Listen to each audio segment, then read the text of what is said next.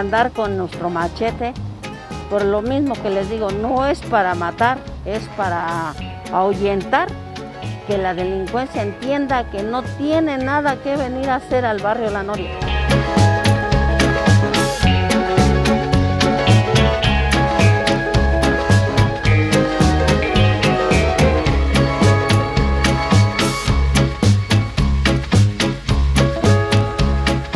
En realidad no tenemos aquí este personal de la policía municipal que esté ahorita vigilando pues las calles de aquí de la Noria, solamente la compañera Laura que es la que está siempre al día con su machete nada más porque no hay ni siquiera un arma pues para defendernos.